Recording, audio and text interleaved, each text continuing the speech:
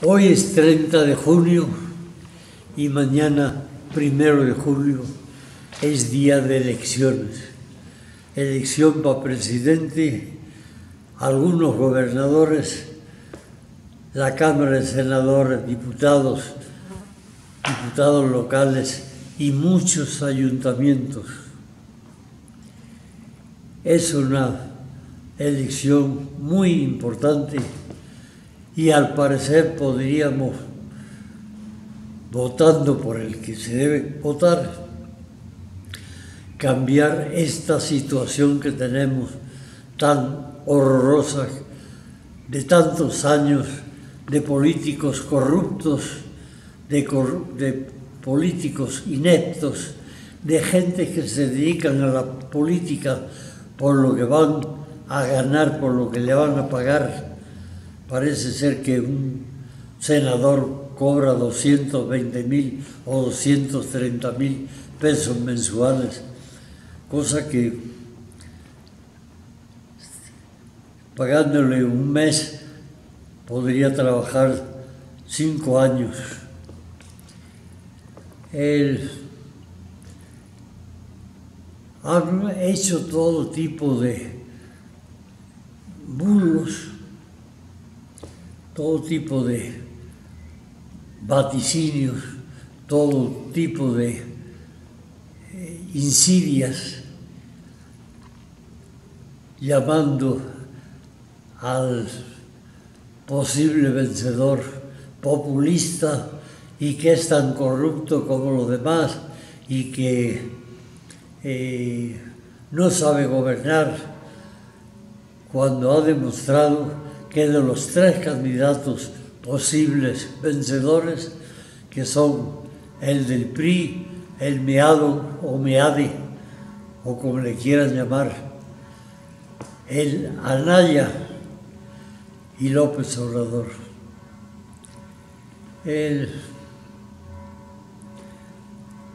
Los bulos que han levantado contra López Obrador no tienen consistencia y lo están haciendo al cuarto para las doce, cuando no hay posibilidad de aclarar, sino para que la gente en el último momento piensen, este es como todos los demás, todos los políticos son corruptos, toda la gente es mala, toda la gente nada más para, van para sus negocios. No es cierto. Hay políticos honestos, hay técnicos honestos, hay incluso abogados honestos. Petróleo Mexicanos, que era un negocio fabuloso, le dieron la torre con la corrupción poniendo un secretario del sindicato, uno fue malo la quina y este eh, que hay ahora, el senador Romero de Champ, es un bandido, con, le achaca incluso como ser jefe de los guachicoleros no me consta y no lo acuso.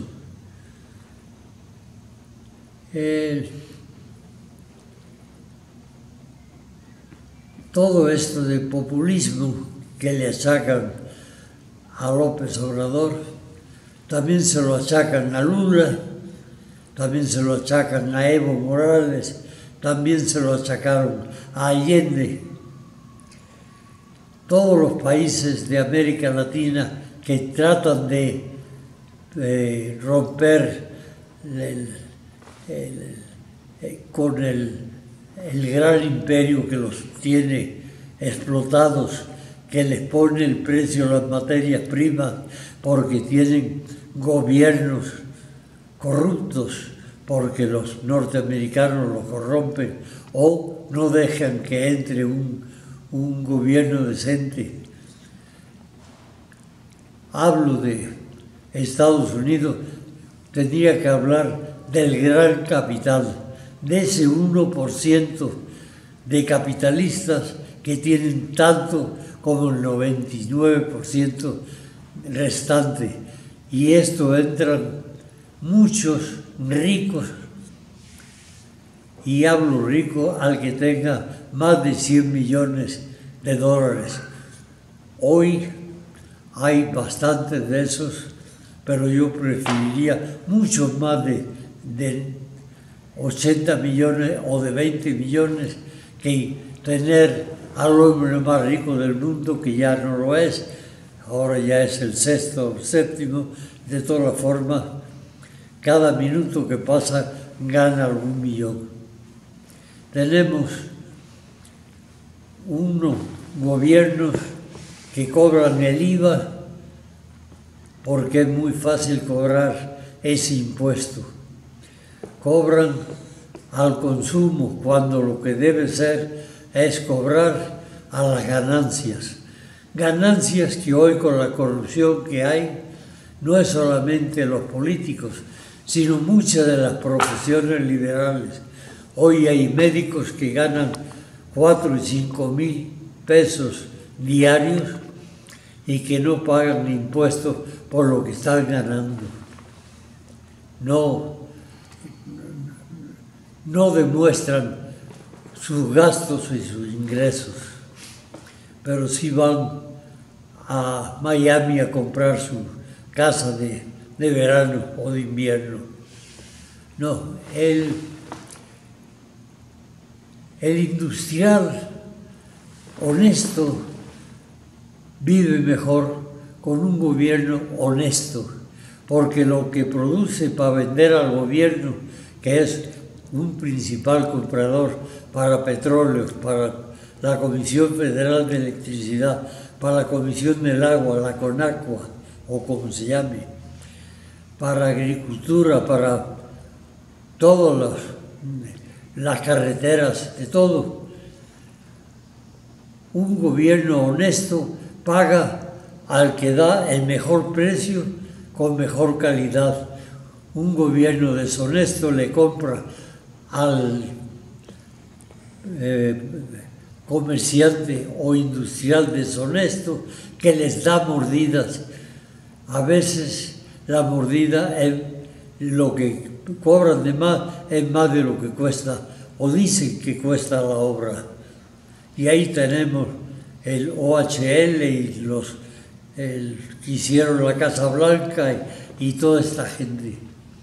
Ahí tenemos a los a la compañía brasileña que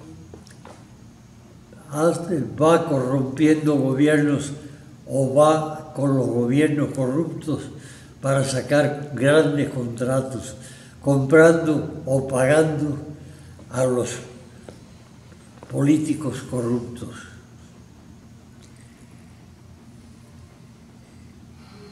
La Iglesia Católica sí está diciendo que se debe de votar, que es una obligación votar. Y no todos, pero algunos ponen condiciones. Tiene que ser votar por un cristiano, por uno que esté en contra del aborto, por uno que esté en contra de, las iglesias. Por eso no hay que votar. No dicen que, hay que, que no hay que votar cuando un papa bendice los aviones que van a bombardear los pueblos de España. Antes de salir de Italia, el papa que había entonces bendecía a esos aviadores. El papa que estuvo cuando la Segunda Guerra Mundial pudo haber hecho algo para que no hubiera tanto crimen, porque dentro de Alemania también hay católicos. ¿Por qué no defendió eso? Está bien matar adultos, mujeres preñadas, pero está mal el aborto. Las que hubo hace unos años un grupo de sacerdotes que escribieron un manifiesto público donde decían estamos contra el aborto, estamos contra las píldoras anticonceptivas, Pero mientras tengamos esta situación donde las familias no pueden comer, pues comprendo, comprendemos que tienen que hacer algo para no tener tantos hijos. Entonces, esos hay aquí en México obispos como el de Cuernavaca, el obispo que estaba en San Cristóbal, el cura Solalinde. Hay muchos curas muy buenos, muy realmente cristianos. Y cristianos no es solamente los que van o creen en las apariciones, no, son los que tienen creencias y además con el ejemplo demuestran que son cristianos, porque el cristiano, el musulmán, el judío que lleva el Corán, el Talmud o la Biblia y la cumple con el ejemplo, son bienvenidos. Pero los que van a misa todos los días y después al salir de misa empiezan a pensar a quién voy a joder hoy, ese no es un católico, ese no es un cristiano, pero se confiesa y se le perdona todo. López Obrador no debe perdonar a los que quiere perdonar, aunque él dice perdonar, pero tienen que pasar por un juez que va a decir si es culpable o no es culpable de lo que se le acusa. La Iglesia Católica tiene una historia de gente que mataban porque no eran católicos. La Santa Inquisición perseguía a los no católicos y los quemaba, se dice, con leña eh, verde para que durara más el sufrimiento.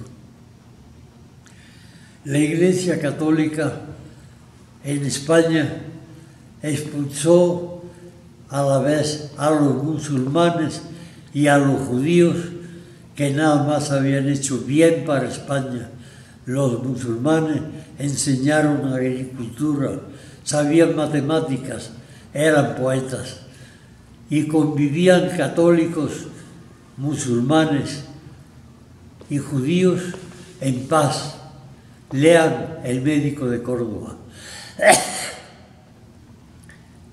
Señores que van a votar mañana, deben de ir a votar, pero piénsenlo bien por qué quieren votar, por un paso adelante o por seguir con estos bandidos del PRIAN que tanto monta, monta tanto, el PRI como los del PAN. Son la pelea que tienen son por los puestos, por lo que pagan y porque los ponen donde hay. En las cosas esenciales votan igual, junto con el PRD que nació robusto y lo eh, con los caballos de Troya que metieron, destruyeron el, partido. Le llaman los chuchos, pero son caballitos de Troya. El verde ecologista, que no es ecologista, defiende a los delfines, pero están a favor de la pena de muerte. Pena de muerte que no quiere decir que no pueden matar en una guerra, que es igual que la pena de muerte. Que van a matar como los mártires de Chicago, acusándole de haber puesto bombas y después de un tiempo se supo que quien mandó tirar esas bombas fue el jefe de la policía con objeto de terminar con estos que estaban pidiendo que por el trabajo que tenían le tenían que pagar para poder comer el trabajador y su familia. En España los militares mataron bombardeando poblaciones como un método de guerra. Hay que hundir la retaguardia para que los del frente pierdan la moral. Hay que, eh, donde entremos, matemos a todo aquel que se haya distinguido por haber sido un trabajador que pedía aumento de salario o que era sindicalista, a esos hay que matarlos para no tanto castigarlos, sino para que los demás ni piensen en rebelarse. Estos se dice que la parte republicana mató a algunos curas. No me consta, pero no lo niego. No teníamos policías, no teníamos un ejército formal que luchara en el frente y defendiera la retaguardia. No, ahí el pueblo unido, como dicen en el eslogan, el pueblo unido jamás será vencido, excepto cuando la diferencia en armamento y en organización es tal que, como dice el dicho, vinieron los sarracenos y nos echaron a palos. Que Dios proteja a los malos cuando son más que los buenos. He dicho, mañana voten y piensen todas estas cosas y voten a conciencia. Y si tienen después pesadillas porque votaron mal, padezcanlo. Gracias.